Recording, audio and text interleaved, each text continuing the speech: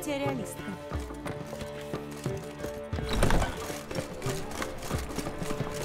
Прямо нету, денег нету. Как это тебя стража в город допустила? Говорю в последний раз. Вон отсюда. Ну-ну. Отцепись. Теперь уже трус. Ведет тебя свет. Теперь следят за каждым твоим шагом.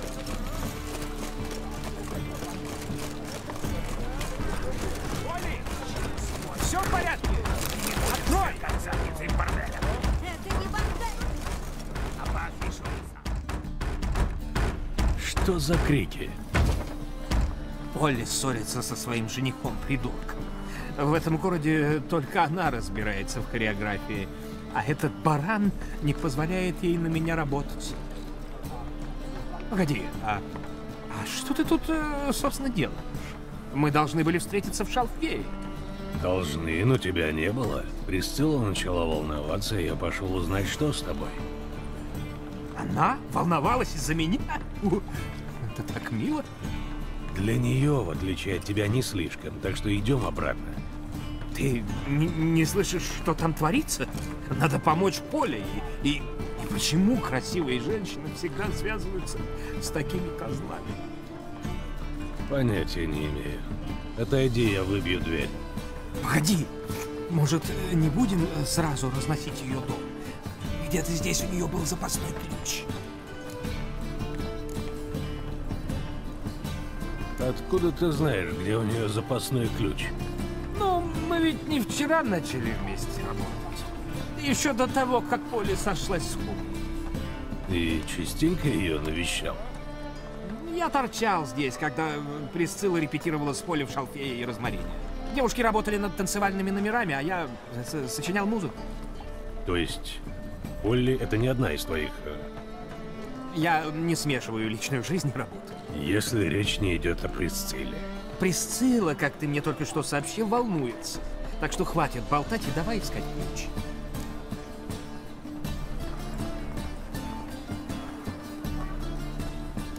Ладно, давай искать.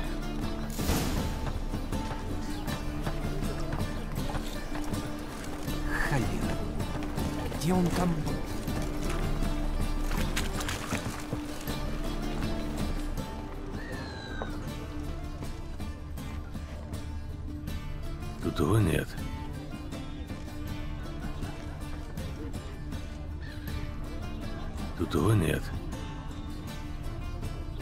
Нашел что-нибудь? Вот и ключ.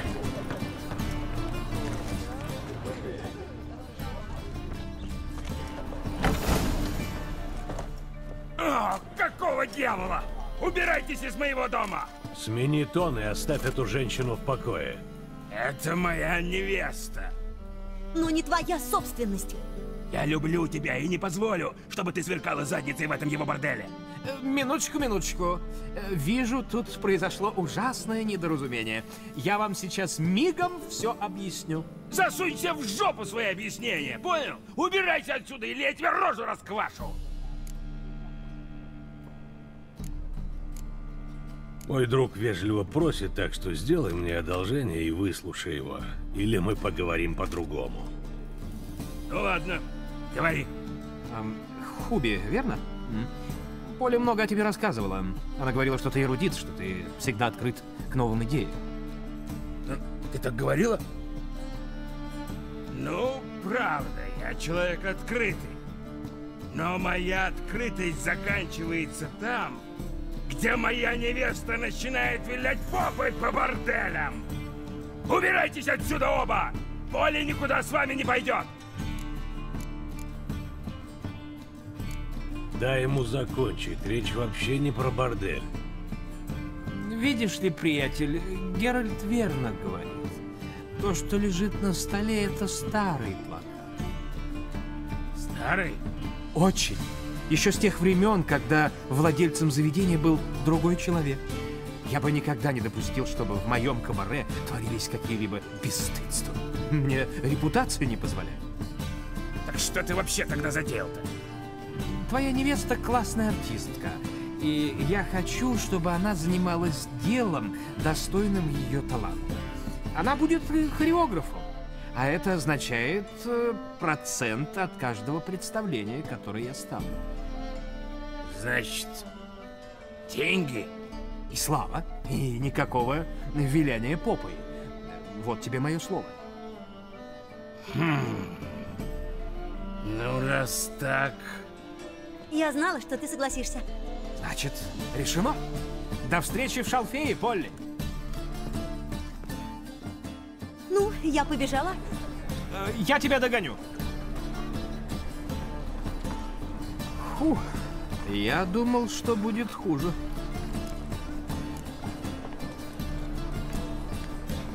Неплохо ты все устроил. Когда ты назвал его эрудитом, он окончательно обалдел.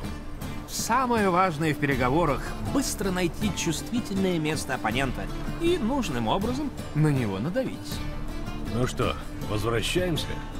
Э, Мне нужно еще заскочить к Латраку.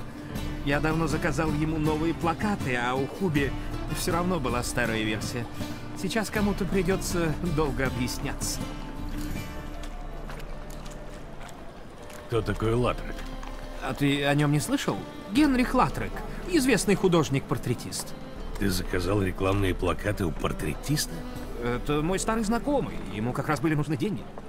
Я решил, что для нашего первого представления плакаты не помешают. Зрительный зал сам собой не наполнится.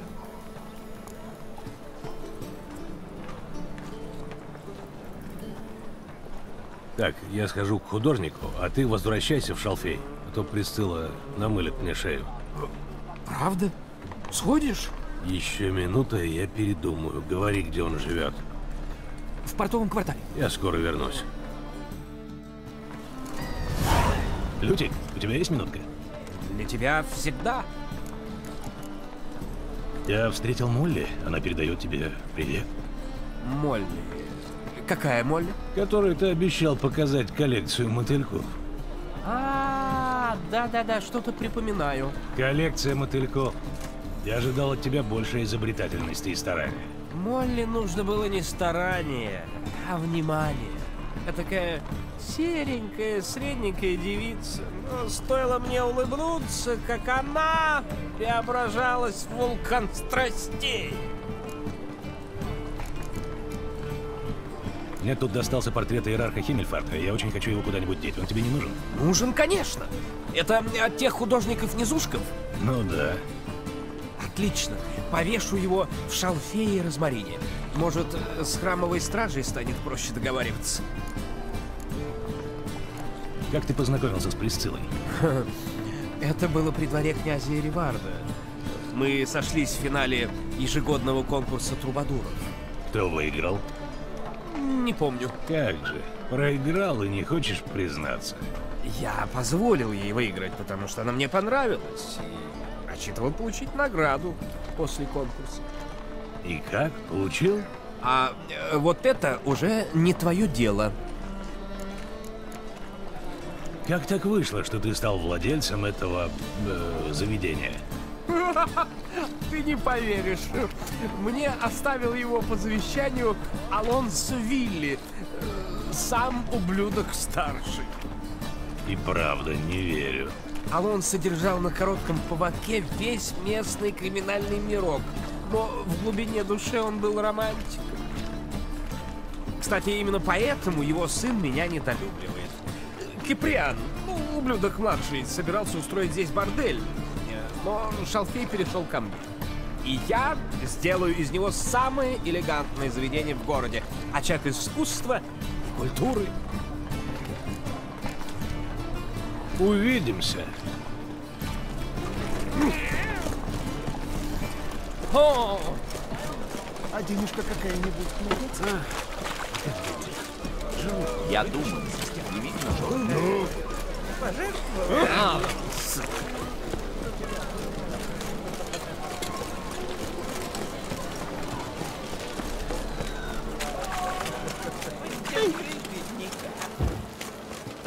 я хер ложись.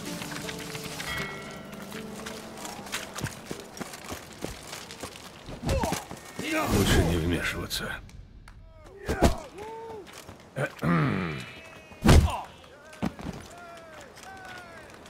Куда прешь? Не видишь, мы разговариваем. Так это был разговор? Не твое собачье дело. Тоже в рыло хочешь? Еще можно сдаться.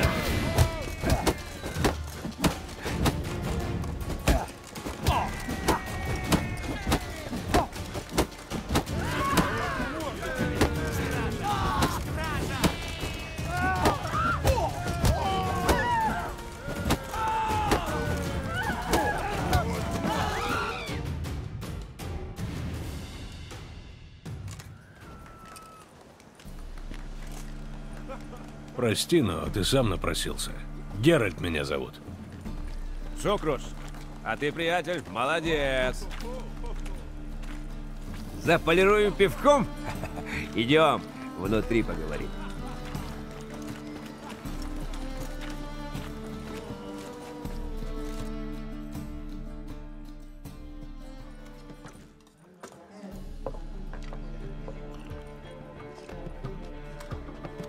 Геральт, что тебя сюда привело? Из-за чего ты с купцом-то подрался? Эх, где были глаза у моей сестрички, когда она шла замуж за этого хряка? Он твой зять? Зять, не зять, один хрен. Сперва подлизывался. Привези меды со скеллиги, оба разбогатеем. А как я расстарался, так все больше про непредвиденные обстоятельства, стоимость хранения и всякие неты бруты. Хуже нет, чем вести дела с собственной семьей. Золотые слова, друг. Я ищу охранника. Ты не интересуешься? А чего нет, если есть деньги? Вот прямо сейчас нет. А, значит, Барт. Я тебе, а ты мне. Который я тебя убью. Ну, допустим. А что ты предлагаешь? Взять мне денег дал. Верни их, тогда и поговорим.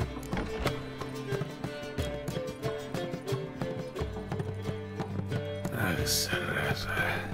Ладно, я этим займусь. Где его искать? А тут недалеко, в доках.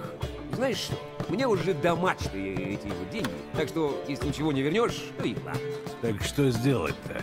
А разнеси ему весь запас меда, который я привез с Анскеллига. Ребячество какое-то. Да, зато все по справедливости.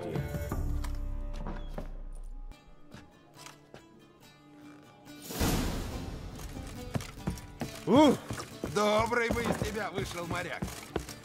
До первого блева. Тебе чего? Я страдаю венерической болезнью.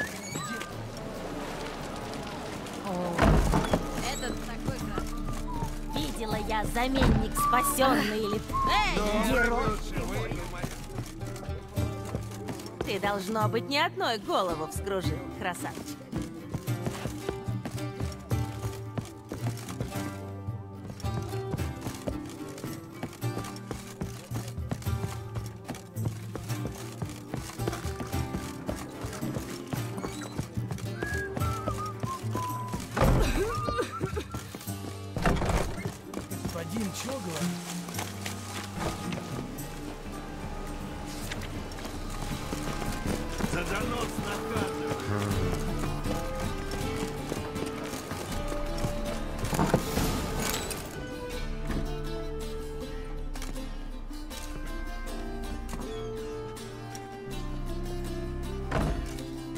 Да еще некоего Латака. Не ты один. Этот сучий низушек в долгах у половины города. А я как раз собираюсь получить свое. На всех тут не хватит, так что убирайся отсюда. Кто успел, тот и съел. Да бери, что хочешь, я пришел только за плакатами. Ты не слышал, что я сказал? Здесь все теперь мое. Вали отсюда, чудила. Я думал, мы разберемся спокойно. Ты об этом пожалеешь, выродок.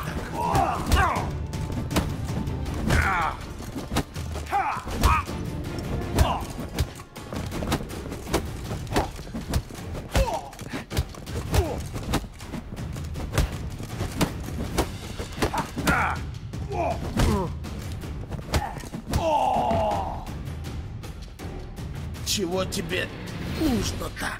Мне нужны плакаты. Нет тут никаких плакатов. А Латрек? Где он? А, небось там же, где и всегда. Спускает последние деньги на скачках у Вигельбудов. Ну, видишь, а мог бы сказать все сразу.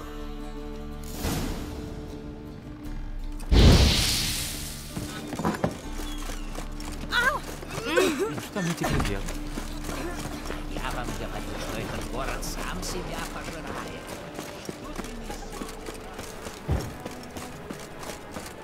Что-нибудь случилось?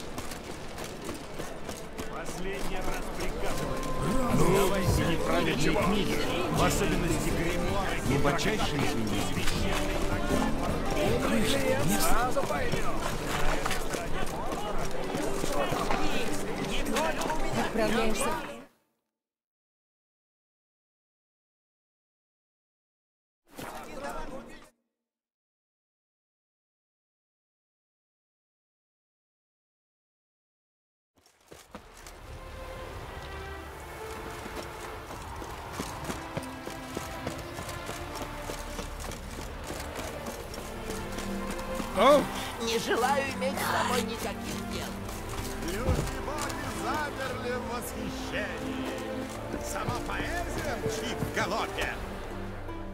Интересно, а я смогу поучаствовать? Если хватит денег на вступительный взнос, есть собственная скаковая лошадь, почему бы и нет. Только решай быстрее, сейчас начнется. Расскажи мне о ваших скачках. Их начали устраивать согласно последней воле Разма Вегельбуда. Он сколотил состояние на азартных играх и всегда этим гордился. А семье не мешает ипподром перед домом?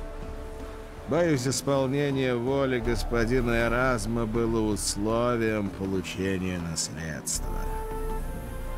Каковы правила скачек? Они столь же просты, сколь прост был сам господин Эразм. Двое всадников стартуют одновременно и совершают один круг по ипподрому. Я хочу участвовать в скачках. Бесподобно. Твой титул и имя твоего скакуна? Геральт из Ривии на плотве. Восхитительно. Твоим соперником будет, дай-ка я посмотрю... А, Шеймус Хольт, верхом на Атосе.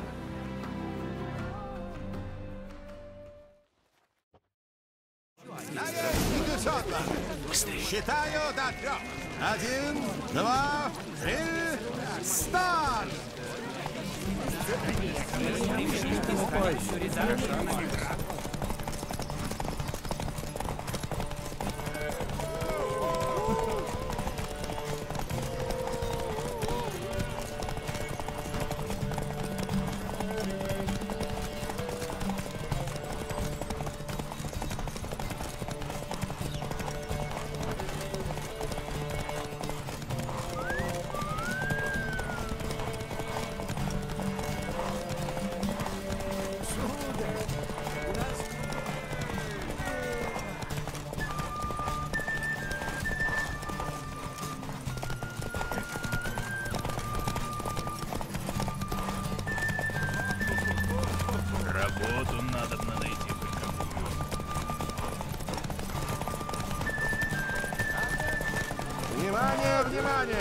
Последний заезд на скачках памяти Разма Вегельбуда выиграл Геральт из Риви.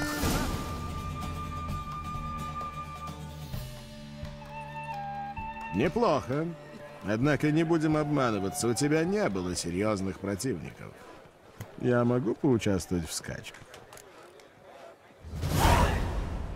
Я хотел бы проехаться еще раз. Дивно. Скоро начнется новый заезд.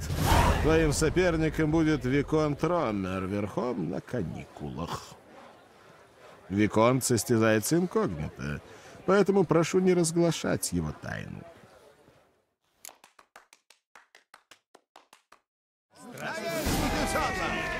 Считаю до трех. Один, два, три, старт!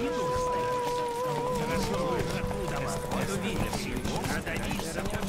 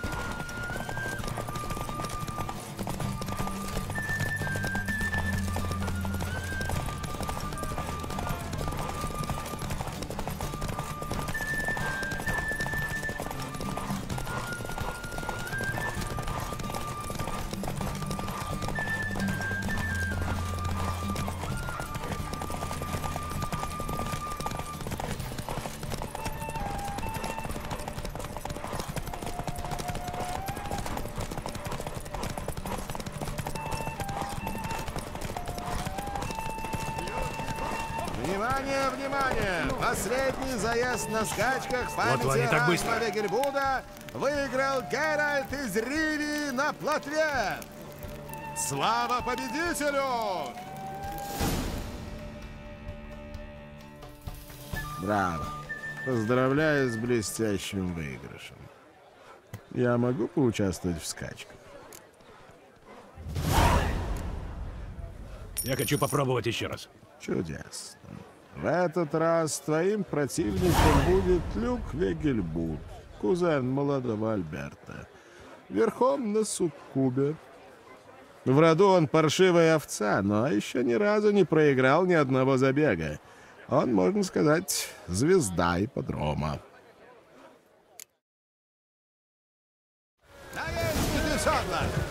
Считаю до трех. Один, два, три, старт!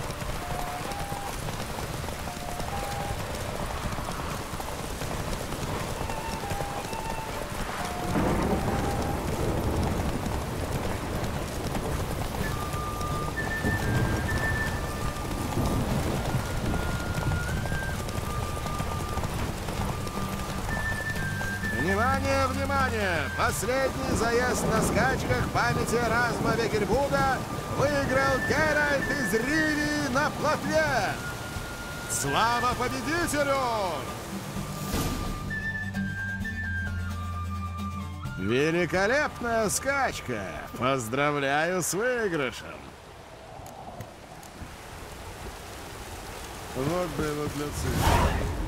Геральт из Риви, я правильно понимаю? А в чем дело? Да вот хотел сказать, красивая победа! Инака, держи приглашение от шефа. Он лично хочет тебя поздравить. Прощай. Ну ладно. Мой долг вырос уже до небес. Но ведь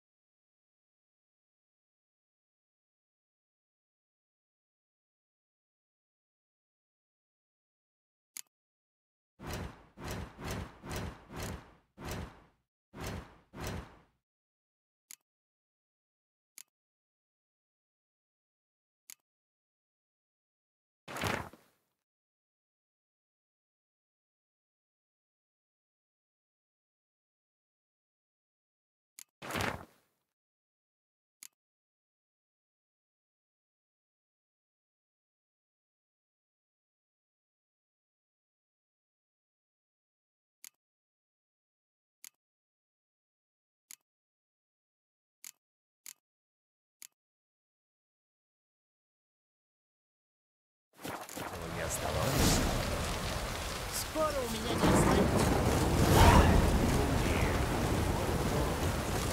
Где мне тогда получать войну? Поспорим еще. Если ты выиграешь, я заплачу твои долги, и мы продолжим играть дальше.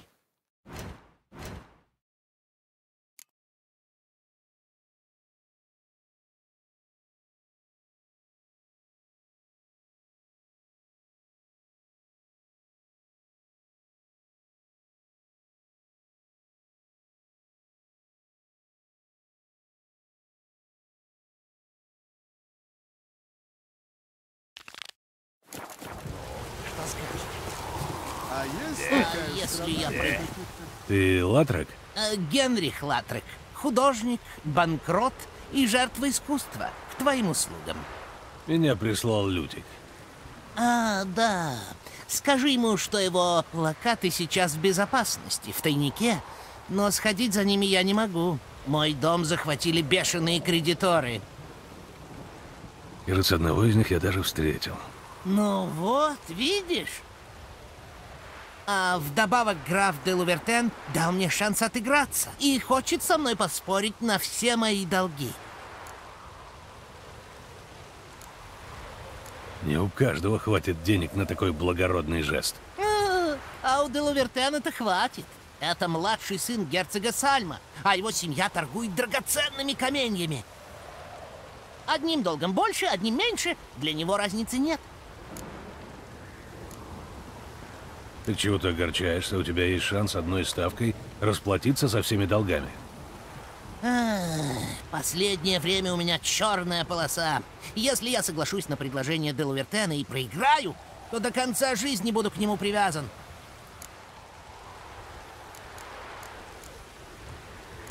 Сделаем так. Я буду участвовать в скачках, ты на меня поставишь, отыграешься, выплатишь долги и отдашь мне плакаты. Ты что, такой хороший наездник? Не худший. Иди скажи графу, что принимаешь его предложение.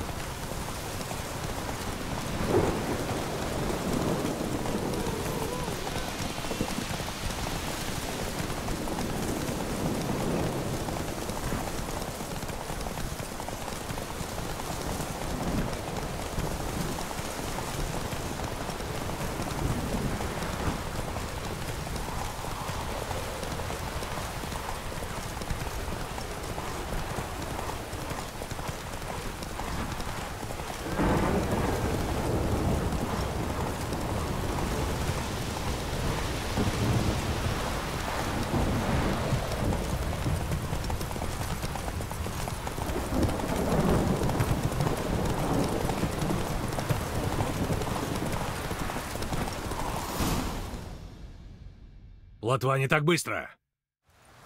Спасибо. Я не ожидал.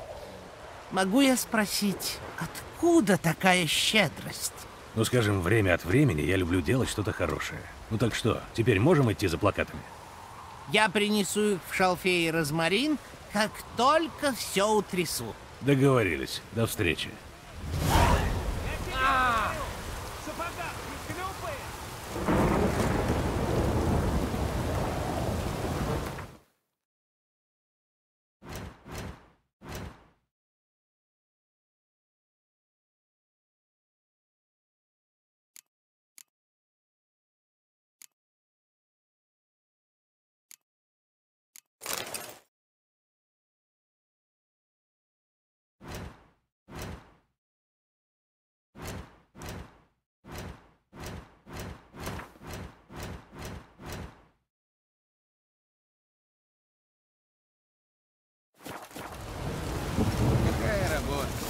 嗯。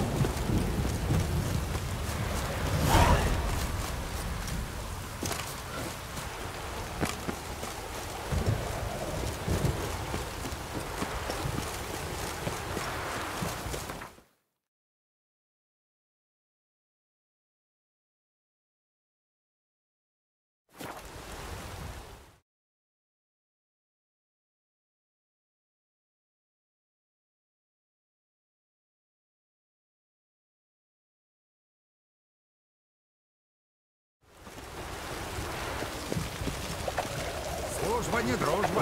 Здесь Приглашаем. Спокойно. Сегодня торжественно. Начинаем в соль-мажоре. Ну вот, вижу, бригада без дела не сидела. Вышло и правда неплохо. Мне тоже нравится.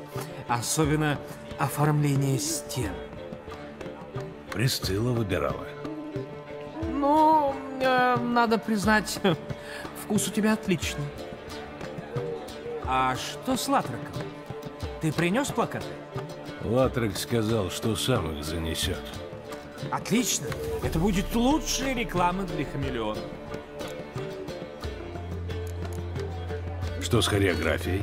Вы приготовили что-то особенное к открытию? Скорее не мы, а Поль. А она просто сокровище. Прибежала сразу, построила девушек. Ух! После премьеры публика на коленях будет рыдать от восторга. Я уверен.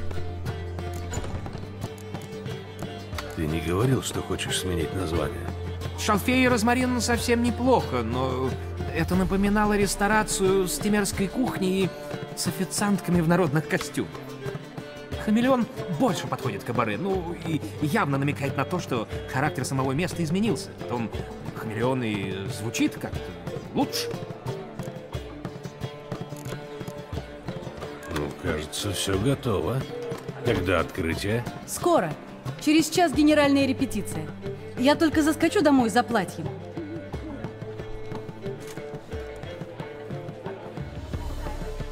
Спасибо за все. А, мелочи. Кажется, моя мечта о кабаре вот-вот исполнится. Так может отметим? Я угощаю. Почему нет? Вот это я понимаю. Мастер говорил, что ты разговаривал с Присциллой. Разговаривал. Она говорила что-нибудь обо мне?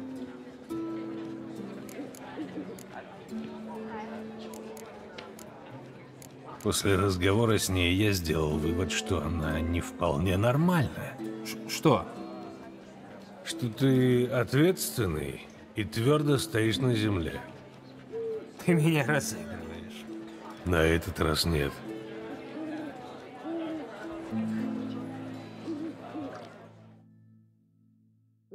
Мне интересно одно.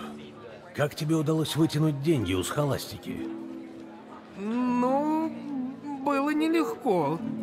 Е- Ее так раззадорило это наше представление, что мне четыре часа пришлось читать ей «Плащ и шпагу». То есть вы не... Да ты с ума, что ли, сошел? За кого ты меня принимаешь?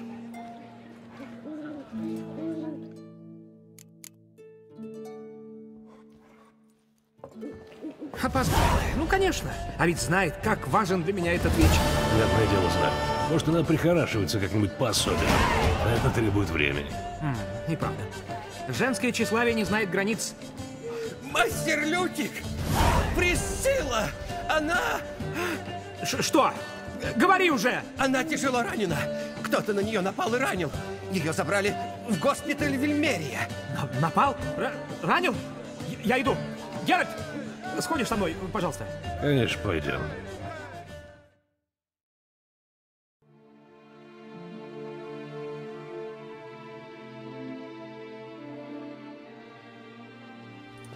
Боги. А, Присцилла. А- Она же, она же будет жить. Наверняка. Состояние тяжелое, но стабильное. Простите, вы ее родственник? Родственник? Н- нет, друг. Очень близкий друг. Лютик, верно?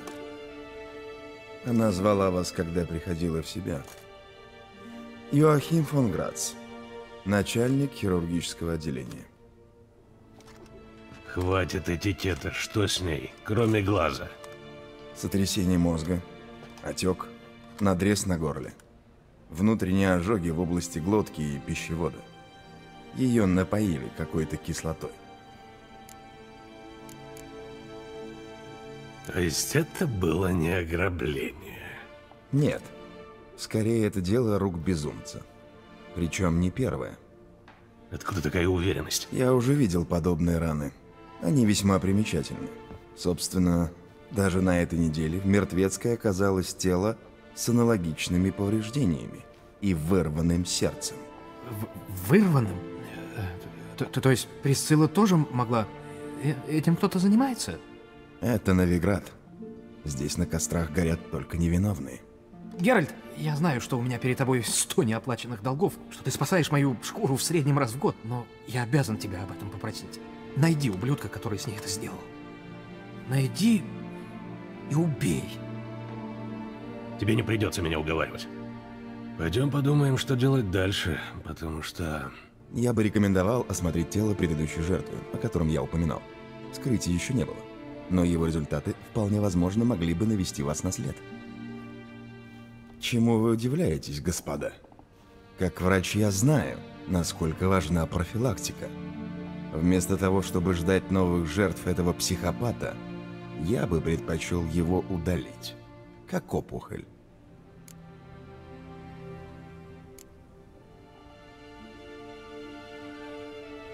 Тем только, что опухоль, как ты верно ее назвал, не будет спокойно ждать, пока ее удалят. Спасибо за помощь. А ты, должно быть, не знаешь, во что ввязываешься. Прекрасно знаю. И уверяю, что смогу за себя постоять. Легко такое говорить, особенно если всю жизнь держишь в руке скальпель, а не меч. Взгляните на этот шрам. Знаете, что оставляет такие следы? Истень. Или Моргенштерн. Думаете, меня ударили за операционным столом? Нет? Повторюсь, я знаю, что делаю. И хочу помочь. Думаешь, меня пустят в мертвецкую? Через главный вход? Разумеется, нет. Но туда можно пройти каналами. И часто вы туда спускаетесь, уважаемый доктор? Настолько, насколько этого требуют профилактические действия. Я вижу, ты практикуешь интересные методы лечения. Довольно агрессивные, я бы сказал. Поговорим об этом по дороге. Вы готовы?